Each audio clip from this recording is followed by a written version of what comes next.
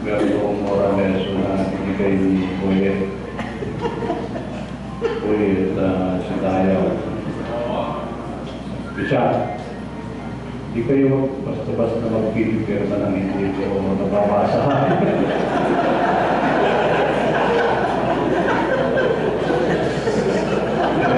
Yan ay sinabi niya na ni ng Presbyterian Council. Naglutok nila ako. So, there are two things na ano, dalawa yung yung long sleeve at saka yung yun lang pag yun lang pag pinatapan na natin yung long sleeve. para para wala wala na, ate pa yung video para okay naman na. Okay na na. Long sleeve at saka short sleeve. Eh, dahil yun ang nakagay dito, tapirma ko dahil hindi na natin na mababawi. Pero if you ask me, bakit kami pagka pagkatulog ng natin ng ayos, tanungin natin ang Diyos. Lord, paano ito? Naka sa short sleeve. Ano kaya sasabihin ko? May mga bagay na hindi dapat na ako ha, kung tatanungin. Kung sa yung for practical purposes, basta tayo magkasundo dito ha, ang pa natin kasi dito hindi tayo nagka, hindi tayo nagkasundo tapos ito yung April. April. Kung sa ngayon, para na na tayo na na uh, we have been in or what, shackled by the printed uh, document, eh, hindi naman naman. That, that, that's, that's not the idea. The idea is uh, na tayo magkasundo dito, you, we will be united. Tapos susundin natin na na matamataran ko. It's not a matter of, uh, of ano, sin and sin and virtue. Kaya, ikaw ko na lang sa inyo kung nakura. Kung usapan na yung lock speed at uh, solid eh, binibigay ko na lang sa sura. Ha? At least yung lock speed at yung speed. Hindi ba huwag ko nagpakalma? Dahil yun lang naman ang nakikita ko pinagkakalungan. Yun lang ba? Meron pa? Yung bang gusto ninyo ipag eh, and uh, sin and virtue? Ano yun?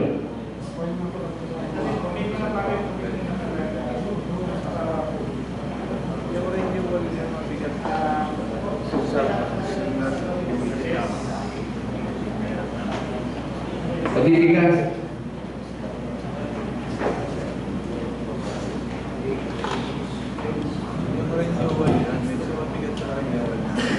Eh kasi kung kumbaga talaga nag-represent, eh, dapat hindi po naman sa pagdating po ay pambabati sa hindi yun eh.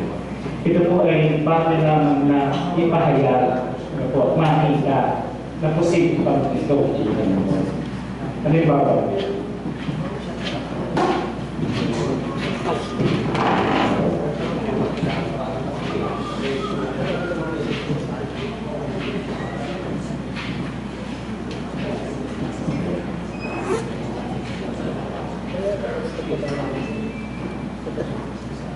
On page 14, number 30. Number 30. Electors holding any political positions are allowed to serve given that they follow the status prescribed by AC. Actually po, yung propositions are, allowed, actually po, lay people to serve. Because it is a part of the calling. Even though you are not a member of any political party. Napakalaga po yung sinabing are allowed. Ano po? Tapos sinabi pa dito na those who will run for any political position must file a leave absence duration of the years. Naalala ko po si Bishop uh, Drona, may naglabas na isang sulat niyo na pinapapag-leave ang mga candidates. Eh, nung binasa ko po yun, iba po ang aking uh, naging uh, sabi, sabi ko, ang mga komunidad, ang mga komunidad, dapat nga natin tawagan na sumali saan? Sa larangan ng politika. Ano sa panahon, ano sila ipapapag-leave of absence? Sapagkat nakalagay gusto mo sa sa government specific na ang mga tayo, mga kayo, ay dapat na pumasok sa larangan ito. Tapos lalagyan marami ng ganong kulabilia na pamamagang may specific at special na consideration at isang politikong tao. Ano to? Eh, pag, sa, sa akin, sa akin pa ako, alam ko ako bola ko, eh, sa akin ay hindi mo to, eh, ewan ko po sa iba.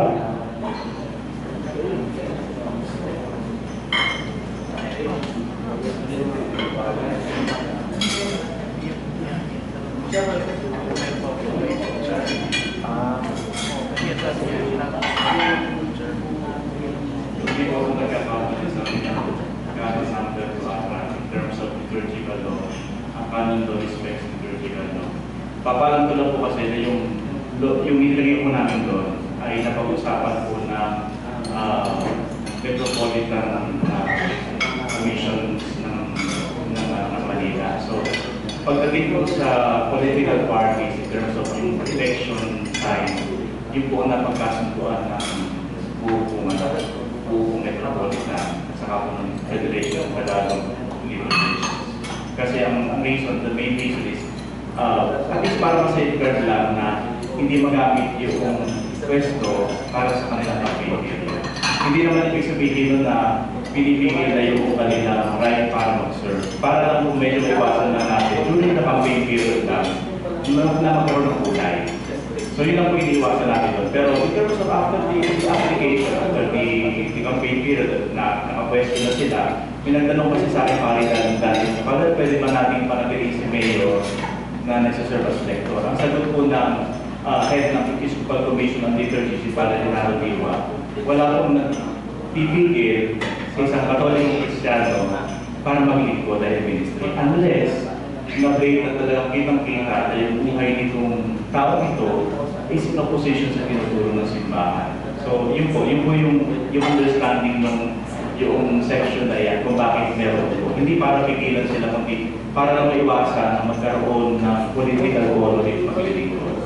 So, kinusultan po namin na any political leader, katulad po sinabi mo siya kakapit, maaari ka maglingkod. So, at least doon na sa period na yun, para medyo maging malinaw po yung reason.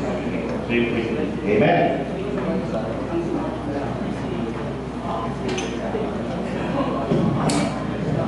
Kasi yung issue ko dito, nakakaroon ng interpretation sa Article 17. Hindi niya tanong kasi yung competence, siya. Siguro tatanong sa documents of the House. I think ang issue talaga dito, yung manner of presentation ng new statutes. Yun ang yun, no? Kasi nakalagay dito, we present it the most reverend, etc. to the clergy. The mere fact na nagreklamo ng complaint, hindi nag-present to to the clergy. Diba? Kasi ang pangahawakan niya namin dito, assume na binasa ng bispo dito, kaya pinirmahan, no? Pero gusto ko lang sabihin, hindi lang sa inyo, no? Sa lahat ng mga mahilig gumawa ng statutes, etc. Bago ibigay as a finished product, yung pinaka-draft, present nyo muna as a whole sa body. Ngayon, kung may mga reklamo sila, sulat na rin sulat. Pag nalagyan na ng approve, papasahin, ano na yung padre ito, tanong bishop, So, wala nang tanong, kasi pagdating dito, dami eh. Kasi lumalabas dito sa page 31, presented sa clergy, maraming nagre-reklamo. So, sino paniniwalaan namin? Ito page 31, ito mga paring sasalita. Pag marami rin namin ibig sabihin, sinungaling ito. Dahil nasa na lang, hindi lang sa niya hindi para sa lahat, yung manner of presentation, bago nyo i-presenta as a whole, at tapos parang nakalagay ditong i-post na agad, hindi maganda yan, no? So, presentation, bago ang final draft, o bago itong declare na ito, kasi pirma na ng bishop, pero pwede magreklamo, yung draft, yan yung muna. Nagbibitin naman ng presbyteran, bumababa naman sa vicary, etc. Ngayon, kung may magreklamo sila, hindi sila ng call, problema na nila. Pero na-observe ko dito, ka ma-open. Kung hindi ka question yung competence, documents, etc., yung manner of presentation. At observation ko lang, yung mga paring marami nagre-reklamo, indication na hindi talaga to present sa clearly. Be honest, be humble. Katabi natin, ano tayo, no? May pagkukulang din. Pero anyway, wala akong ibig sabihin sa inyo, ha? Yung manner of presentation natin. Maraming salamat po, Brother Boy. Okay, so, diretso na po.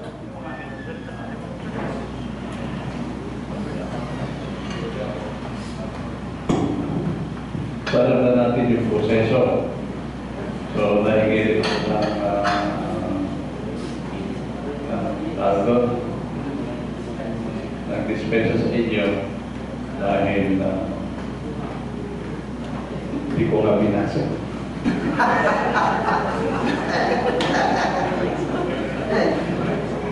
Eh, kaya sa susunod, meron akong uh, paraan, ano yun, papataan ko lang kay Ray. Pag uh, pinagkaroon pa sisisihin ko si Ray. Pero we are taking things seriously na, uh, we will be taking things seriously na. Tunay nga. Dahil paano, paano na naman na hindi ko binasa at at pinirmahan ko lang. Yung comment ni ni James dito sa political na ano pa yun? Page 40. Thirty one? Page. Some four. Okay, okay. Dahil kung, kung binasa ko talaga ito, eh, I should have come across this. Ah, ito. Ito eh, nais kong ayusin ito. Nasa pananaw ito na kung ay tulad ng sinabi ni James, yung involvement sa politika, it's good. It's good. Huwag lang yung mga pare at uh, confidential sa akin. Ang sa Katoliko ay may involved sa politika, it's good. At yung mga tao na sa tingin nila ay mayroong okasyon para maglingkod. Maglingkod sa bayan localities, they are encouraged. And they should. They should. Kung magkataon na itong na siya ay ano, na siya ay tawag L, L, tawag LCM. LCM, tapos na makanyang na-reserve na siya ay tinatawag na mag-involve sa politika. Bakit niya is, ba't siya magpilit? Ba't siya magpilit? Kasi pag magpilit, parang masama ba ang politika? In fact, it's a point. Pwede magamit niya. Pero, ang kasi nakalagay dito, parang gagamitin, parang parang may, may judgment na kaagad na gagamitin. Kaya, ang gagawin natin, pag ang isang tao, ang ang involvement sa politika ay maganda, saka pa lamang natin sasabihin na masama kung siya ay nasa kakuan agad ng draft and corruption. But otherwise, maganda. Maganda. Itong gawa niya.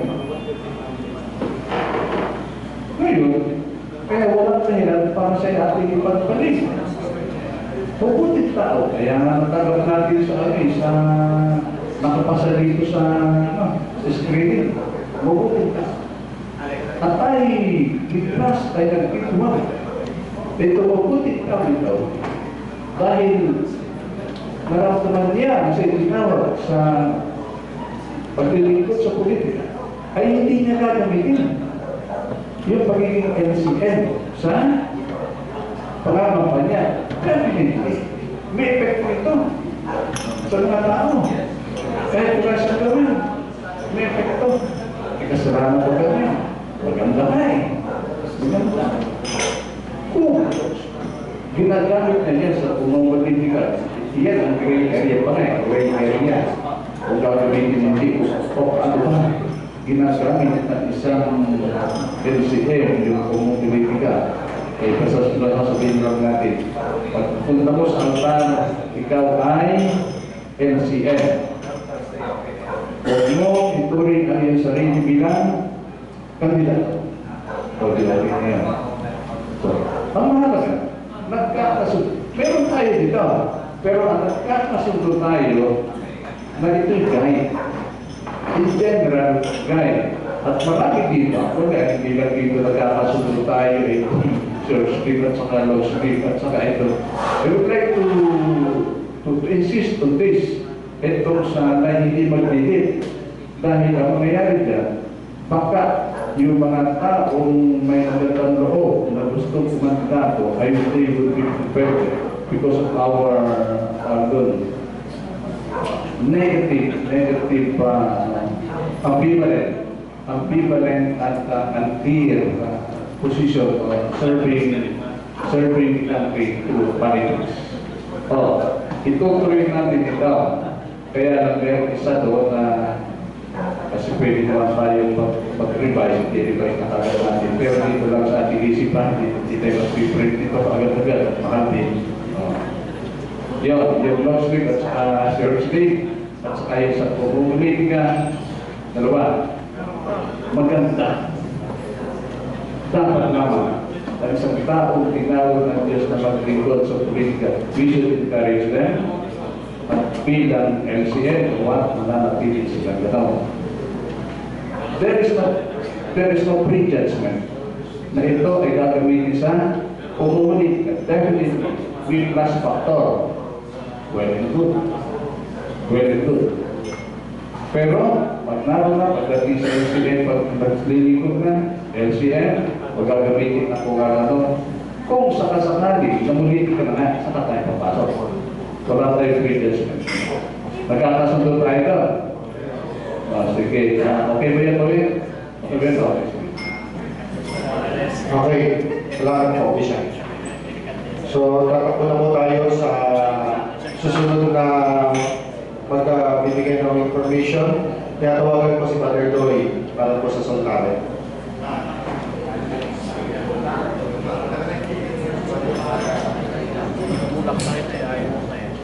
So paalala ko lang po kung sa Mindoro, ang kanilang tema ay Celebrate, Consecrate, and Celebrate.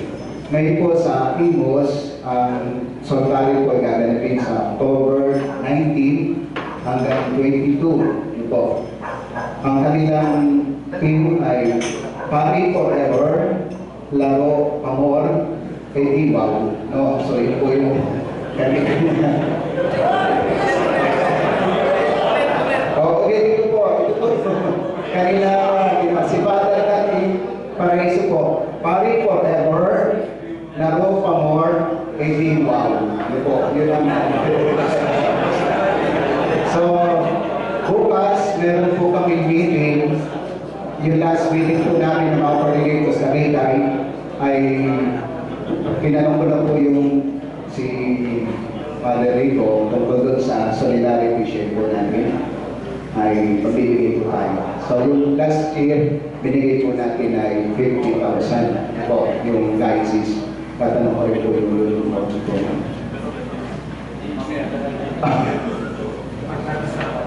Ah, kasi po, ang number na kung listahan din po sa Mindoro, pero yung iba po ay wala. So halos 51 na po yung pupunta po sa Tagaytay. O bukas, malalaman po po kung saan tayo tuloy. Pero usually, yung kung saan po guys na merong seminary, doon po tayo. Ako maaaring pag-uwihan ko, malapit lang naman po. So, yun po. Salamat po, Risha. Uniform. Sino ka magsusunod ng uniform? Oh, ang unang mag-contribute tayo, players.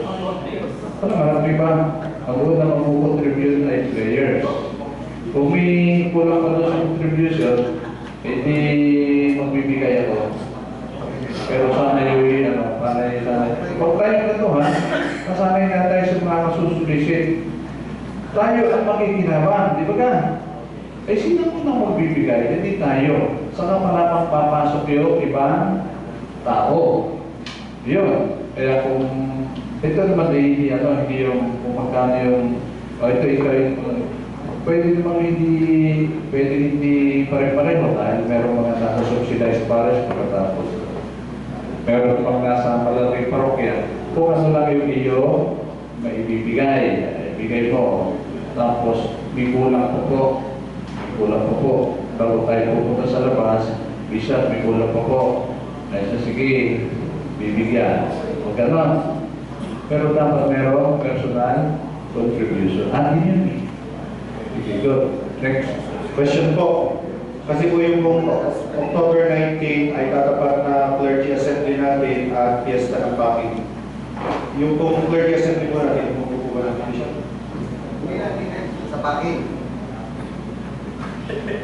Um, plano po, October